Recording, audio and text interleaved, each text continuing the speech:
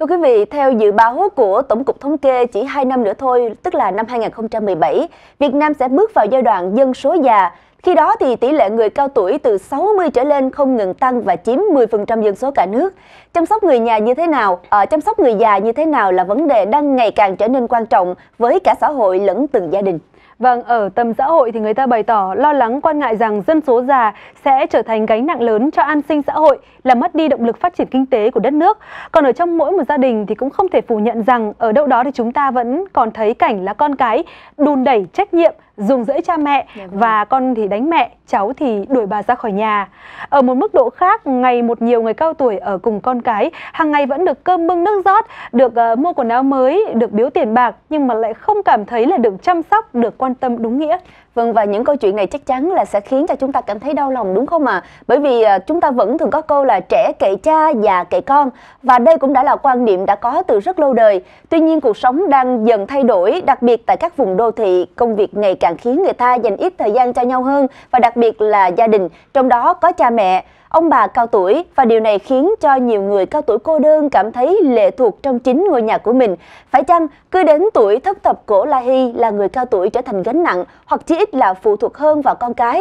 Liệu rằng người cao tuổi có thể hoạch định sẵn tương lai già của mình để tự mình có thể quyết định nơi mình sống, cách mình sinh hoạt và điều mình muốn hay là không? Vâng và nhiều ông bà cụ thì vì là không muốn nảy sinh cảnh mâu thuẫn với con cái nên thiên hướng ngay từ đầu đó là là đã để cho ông bà tự chăm nhau hoặc là chủ động vào viện dưỡng lão lão để bầu bạn cùng với những người cùng lứa tuổi với mình.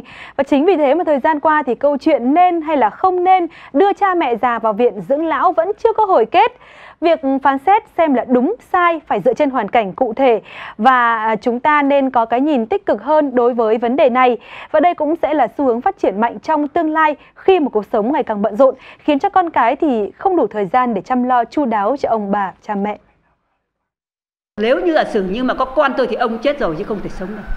Nói thẳng thừng như thế. Tại vì đó, trông thì nó có mức độ nào thôi. Chứ không phải là bây giờ người vợ nó còn chồng chồng còn vợ chồng ngoài viện mấy yếu, ông có khí nước nào đâu, cho về hết trả khí nước nào đó là tâm sự rất thật của bà Đào Thị Thụ, quận Hoàng Mai, Hà Nội 8 năm trước, chồng bà là ông Nguyễn Văn Hiền mắc bệnh ung thư thanh quản cuộc chiến chống căn bệnh này của hai ông bà bắt đầu từ đó và cũng gần ấy năm, hai ông bà giao tiếp với nhau bằng phương cách này. Thỉnh thoảng là cho đồng nào hay là mua thức ăn nó biếu mình thì mình ăn thôi. Đấy, chứ còn không gắng nó trông. Đến lúc mình muốn đi viện đi bảo Hồng hay là mày lai bố đi viện thì thôi tôi đưa tiền bà taxi bà hang bà đi Đúng là con chăm cha không bằng bà chăm ông Không phải gia đình nào cũng còn cả ông lẫn bà Và vì thế đây là nơi mà nhiều ông bà lão tìm đến Có nhiều con nhưng mỗi đứa sống một nơi Bà Nguyễn Thị Lành lại không muốn phiền đến con cái cho nên bà tìm đến trung tâm dưỡng lão Ori Home để tìm niềm vui tuổi già. Em ở cả thì đã ở nhà, ai cũng vậy. Có lúc tử tế, có lúc êm ả, có lúc va chạm. Thì khó chịu thì bố mẹ lại bảo mày cho tao vào trong trung tâm đi thì ta yên tâm phải Mà con đi làm yên tâm. Cho cha mẹ vào trung tâm dưỡng lão không có nghĩa là con cái vô tâm hay không có hiếu Thực tế với nhiều cụ, vào đây được giao lưu bầu bạn với mọi người, còn vui hơn là quanh quẩn với bốn bức tường ở nhà con cái. Phần lớn tất cả cụ ở đây thì um, được con cái và người thân gửi vào và có cái sự thăm viếng rất là thường xuyên. Có những cụ là gần như ngày nào cũng có người đến thăm. Đấy, tại vì cái gia đình chỉ không thực sự chăm sóc được bởi vì các cụ thực sự là cần một cái sự hỗ trợ về tất cả các hoạt động sinh hoạt thường ngày trong gia đình. Mà cái đó thì đôi khi là rất khó đòi hỏi một gia đình một cái cá nhân hoặc một thành viên trong gia đình có thể làm được. Tất nhiên mỗi cây mỗi hoa mỗi nhà mỗi cảnh ai cũng mong muốn khi tuổi già con cái luôn bên cạnh chăm sóc. Nhưng trong cuộc sống hiện đại không phải muốn là đều có thể thực hiện được. Vâng và thưa quý vị, để cùng trao đổi về câu chuyện này thì ngày hôm nay chúng tôi đã mời tới trường quay giáo sư tiến sĩ Ngô Đức Thịnh, giám đốc Trung tâm Nghiên cứu và Bảo tồn Văn hóa Tín ngưỡng. Và được biết là giáo sư năm nay đã 70 tuổi và nhiều năm nay thì hai vợ chồng ông vẫn sống cùng nhau và tự chăm sóc lấy nhau dù con cái à, thì đang ở xa và cũng khá là bận bịu công việc. À, và lần đầu tiên thì xin được cảm ơn giáo sư tiến sĩ Ngô Đức Thịnh đã tới tham dự chương trình của chúng tôi buổi tối ngày hôm nay. À, và một câu hỏi đầu tiên đó là như phóng sự chúng ta vừa xem đó là những trường hợp cụ thể nhưng mà theo nghiên cứu của Tổng cục Dân số cho thấy là cũng có rất nhiều những người già dù là sợ sự cô đơn đấy nhưng mà lại không muốn sống cùng con cái mà lại muốn sống một cách độc lập tự do? Và tại sao lại có tâm lý này? Ông có tâm lý như vậy hay không? Uhm, vấn đề những người già đó thì cũng có một cái điểm sợ thường sợ cô đơn nó đành. Nhưng mà sợ phiền đến con cái. Đấy là cái điểm rất tốt thôi tôi sợ phiền đến con cái. Cho nên là cái xu hướng hiện nay về cái nhà dưỡng lão thì tôi thấy rằng rất là tốt. Tôi đã đi những nước ngoài mà tôi đã thăm những cái nhà dưỡng lão thì rất là tuyệt vời. Như Việt Nam thì có khá cũng bây giờ cũng khá hơn rồi cho nên nhiều người muốn vào dưỡng lão. Nhưng mà có một cái tâm lý này thế này này con rất sợ sợ lại để gửi bố mẹ vào nhà dưỡng lão. Như chứng tỏ là mình không có hiếu với bố mẹ. Cái đó quan niệm nó không đúng đâu. Bởi vì đến vào đấy mà các cụ sống một cách nó uh, có giao tiếp với mọi người và cái nhu cầu đó nhu cầu rất lớn thì vào cũng là một cái cách giải quyết cho cái xã hội hiện đại. Vâng, à, vậy thì theo ông là bên cạnh việc cái tâm lý là không muốn phiền đến con cái thì còn có nguyên nhân nào khác khiến cho rất nhiều những người cao tuổi khi mà đã không đủ sức chăm lo cho bản thân mình thì đã chủ động à, muốn vào những viện dưỡng lão để sống hay không? Còn lý do nào khác hay không? Có lẽ không biết là có lý do nào không nhưng mà phiền không phiền với con cái bởi vì con cái bây giờ nó cũng quá bận Đấy, thực tế thì bây giờ nó bận mình phải thông cảm với nó chứ về lúc trẻ thì mình cũng thế cho nên là bây giờ mình cố gắng mình tự lực được chừng nào thì hay từng đó cái điều đó không đấy là một cái tình cảm của bố mẹ vẫn nghĩ đến con vẫn nghĩ đến con thì cái đó cũng là một cái tình cảm mà con phải thấy cái đó và thấy quý hóa cái chuyện đó. Chứ không phải nhưng mà uh, thôi giải quyết cái hướng như thế nào đó vào nhà dưỡng lão cũng là một cái điểm rất là tốt. Vấn đề bây giờ xã hội chúng ta lo cái nhà dưỡng lão cho nó thật là uh, tốt uh, nó thoải mái và tạo điều kiện cho những người già có thể vào đấy giao tiếp. Cho nên nó có câu chuyện là con cái ở thành phố cứ bắt bố mẹ lên và ngồi trong một cái phòng bức tường và cứ ờ, không cho về không cho về. Và, và như thế là coi như báo hiếu bố mẹ thì cái đó không phải. Dạ. bây giờ phải nghĩ khác đi báo hiếu hay không là nó rất nhiều cái thể hiện anh có thể thể hiện cái tình cảm với bố mẹ rất nhiều cái khác. Dạ vâng. Thưa giáo sư là theo ờ, chị Thanh Huyền ngay từ đầu chương trình cũng đã chia sẻ là hiện hiện tại giáo sư đang sống cùng với vợ. Nhưng mà nếu đặt trong trường hợp là giáo sư buộc phải lựa chọn uh, trường hợp thứ nhất là phải uh, có được có thể sống gần với con cái và nhìn thấy con cái mỗi ngày. Thế nhưng mà phải sống trong một cái căn nhà kính cổng cao tường cả ngày. Hoặc là trường hợp thứ hai là vào cô vào uh, viện dưỡng lão sống. Uh, thỉnh thoảng thì mới gặp được con cái nhưng mà buộc bù lại thì lại được trò chuyện được vui vẻ cùng với những người bạn già của mình vâng. vậy thì giáo sư sẽ chọn phương án nào ạ à? tôi sẽ chọn cái phương án đó dạ có nghĩa là phương án thứ hai vâng, đúng không ạ à? giáo sư có thể giải thích vâng. được hay không ạ à? thích là vì ờ, tôi vào đấy tôi có một cái xã hội mà đối với người già thì cái cái giao tiếp là quan trọng lắm dạ, giao vâng. tiếp những người cùng tuổi chứ giao tiếp với những cái thế hệ thì con cháu của mình thì rất rất khó cho nên là vào đấy thì được giao tiếp nếu mà vào đấy được chăm sóc sức khỏe ăn uống tốt nữa thì rất là tốt dạ, như vâng. thế là cả hai bên đều được giải phóng cả ừ. đấy một sự giải phóng cho con giải phóng cho chính bản thân mình. Dạ. vâng.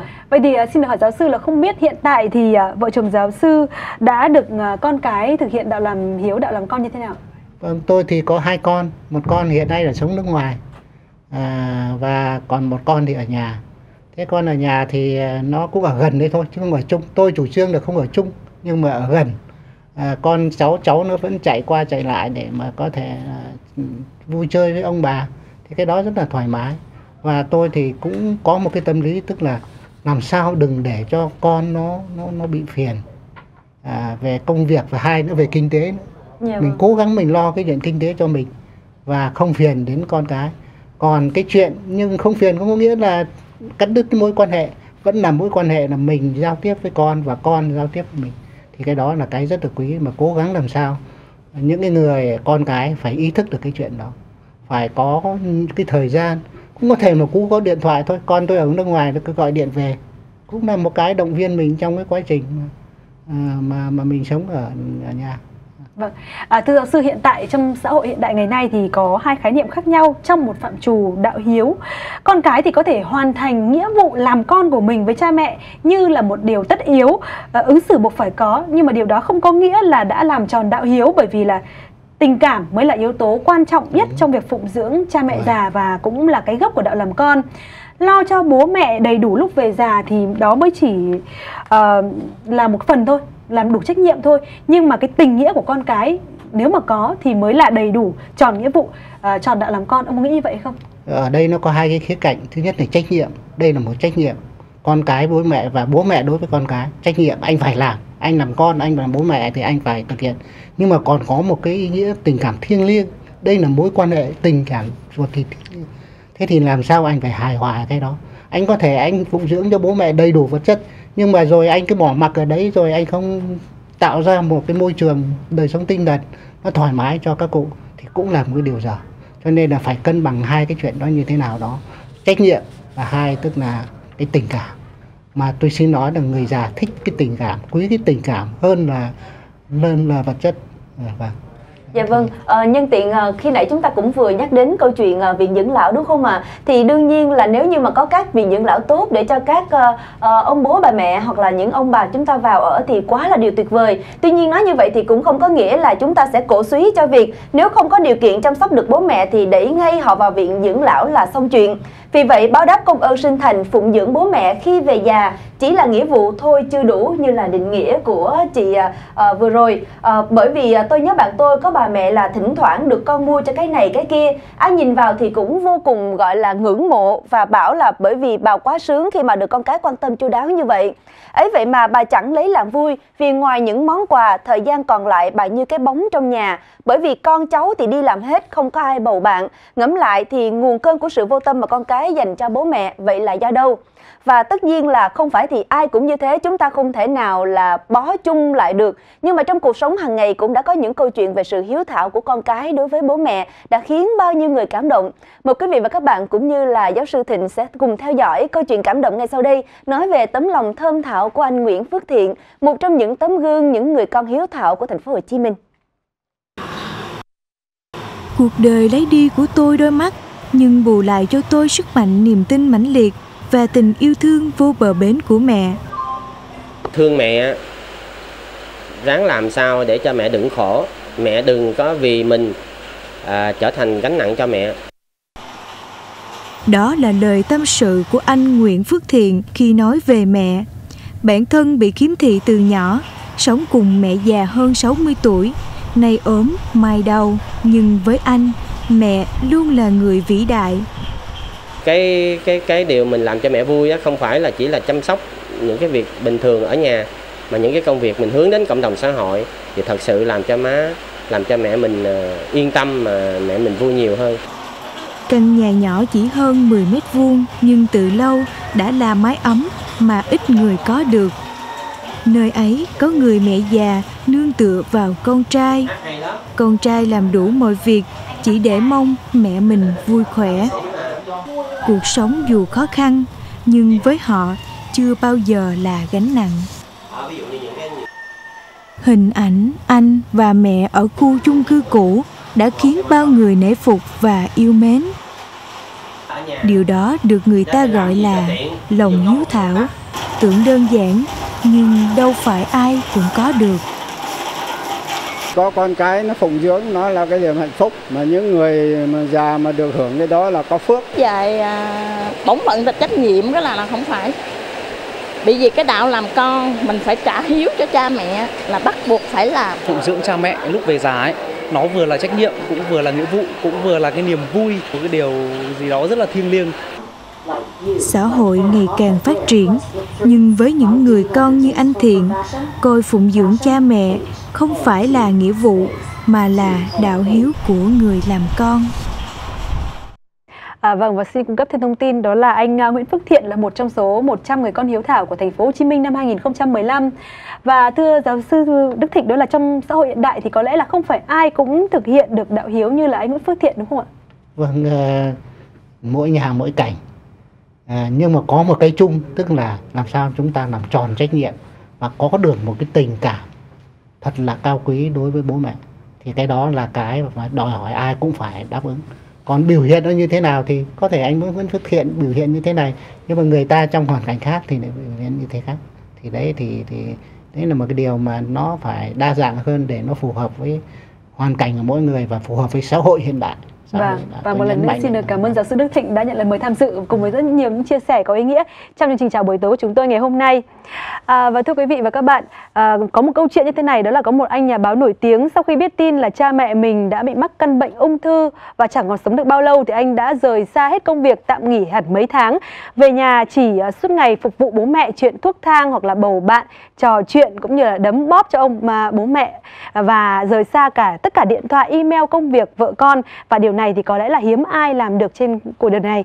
Và thưa quý vị à, điều mà chúng tôi muốn nói với quý vị ngày hôm nay đó là cho dù rằng là bố mẹ à, quý vị còn khỏe mạnh hay là đã già yếu dù là ông bà có sống cùng với gia đình mình hay là ở viện dưỡng lão thì điều cốt lõi nhất đó vẫn chính là sợi dây tình cảm vẫn là sự quan tâm chia sẻ với họ để mỗi ngày còn sống trên cõi đời này là mỗi ngày vui bên con cháu. Vâng, xin cảm ơn rất nhiều cuộc trò chuyện vừa rồi của biên tập viên Thanh Huyền và giáo sư tiến sĩ Ngô Đức Thịnh. Thưa quý vị, và câu chuyện già có cần kệ con cũng đã kết thúc chương trình chào buổi tối ngày hôm nay. Cảm ơn quý vị đã quan tâm theo dõi.